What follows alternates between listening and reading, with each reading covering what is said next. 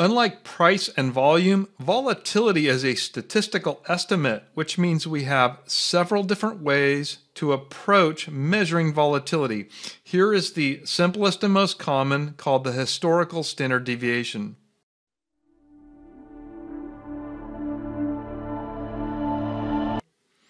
Among the many approaches I'm showing here, the simplest approach actually to estimating current volatility and probably the most common, and that is where we calculate the historical standard deviation, and we could call it a moving average.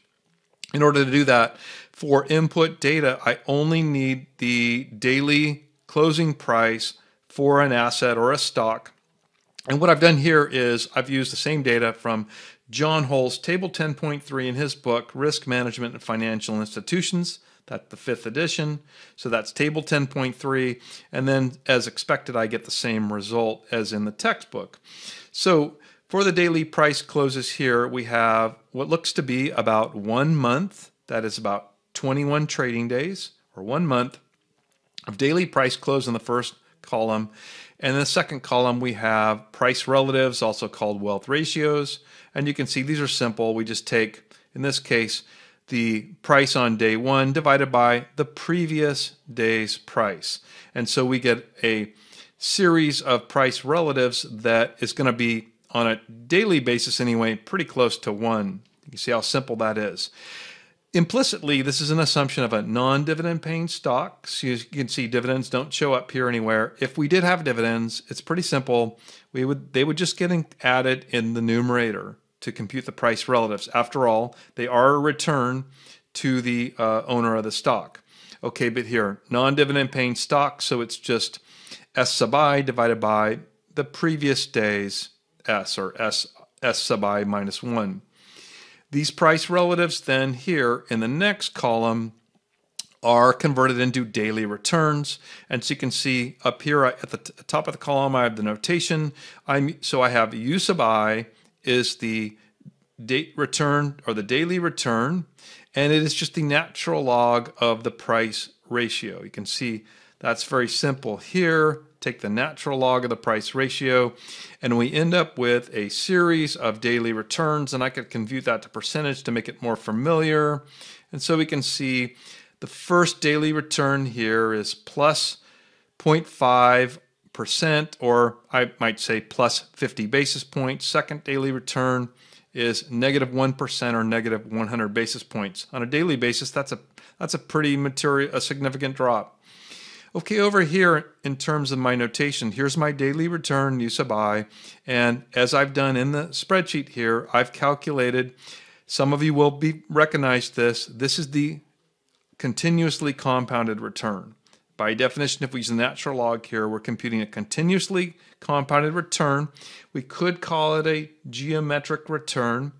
I like these because they are they have this property that's elegant, which is called time. They're time additive, meaning we could just add them over time, which we can't do by maybe the more familiar calculation here, which is the simple return. We could also call this the arithmetic return. Now, very common question we get is which one's correct?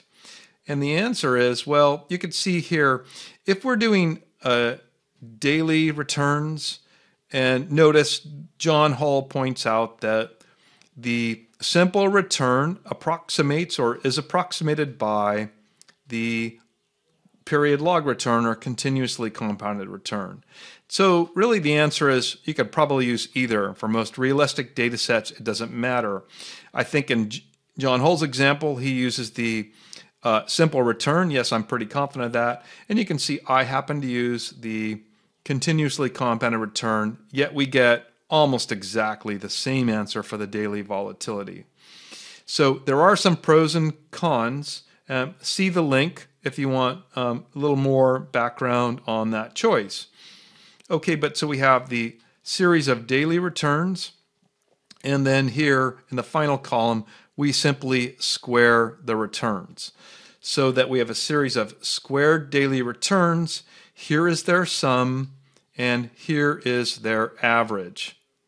So here we have the average squared return, and that's going to be our daily variance. So what I have here, this formula is, after all, our approach here to estimating current volatility is to compute the historical standard deviation.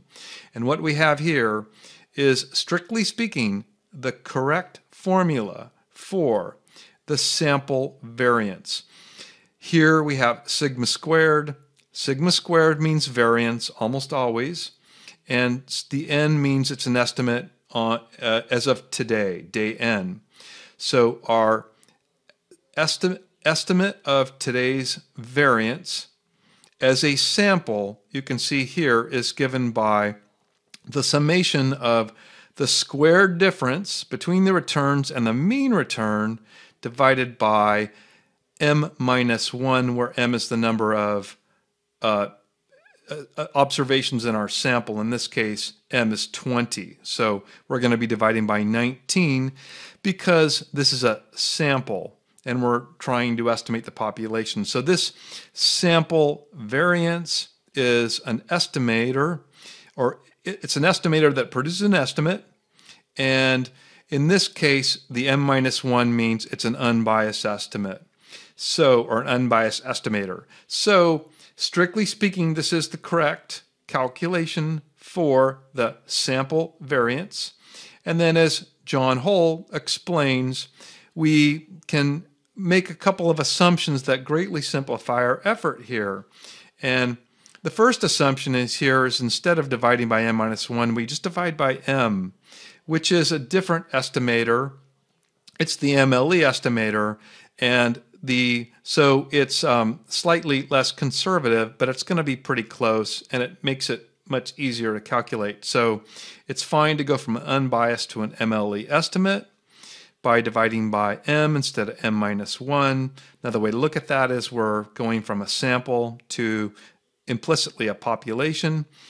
And then the other one that makes it much easier is you can notice here the average return. I've got that colored in uh, red, and that's also calculated right here. It's the average daily return. So the correct standard deviation, or the correct variance, I'm sorry, would subtract the mean. Common question we get here though, do we have to? And the answer is no. Uh, again, if our period is daily, we can also make this simplifying assumption that this mean, the mean daily return is equal to zero, so it drops out. So that's how we get from this strictly correct formula to a much more convenient version. And then I will say, and you can see the link for more discussion about this, that it's not only convenient, but there are experts who would say this is a better decision anyway, because after all, we're trying to estimate the current est- we're trying to estimate the current volatility, and the historical daily return may not really be representative of what we expect today and going forward. That is to say, our best estimate really of a daily average return going to, as of today and going forward might be zero. So zero might be better. So dropping this out has very real advantages. And we end up here with the formula for an estimate of today's variance, which is actually very simple.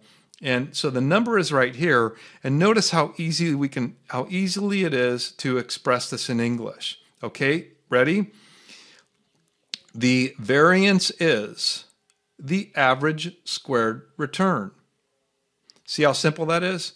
The squared returns are here. We're taking the average. Our variance is the average squared return, such that all we need to do is take the square root of it, because this is a variance rate, and the variance, of course, is not really necessarily intuitive to us but the volatility or standard deviation is. So we take the square root of that average squared return and we get, in this case, the daily volatility. So I've switched back to percentages here. And in this case, it's 1.456%. Square root of the average squared return. And it's represented over here.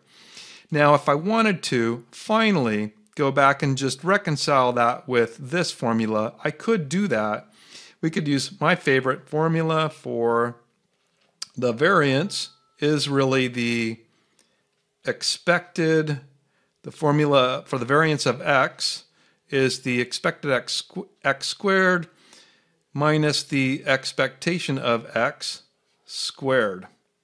That's the formula for variance. So if I use that, I could actually use that here by taking the expected x squared and subtract, or the expected, uh, uh, the average squared return and sub subtract the daily return squared. That's just my implementation of that variance formula.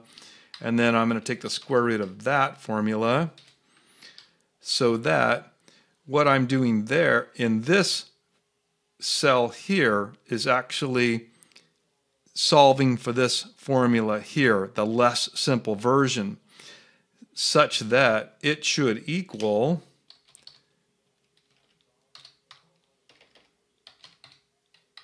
my standard deviation of this series of returns, which it does.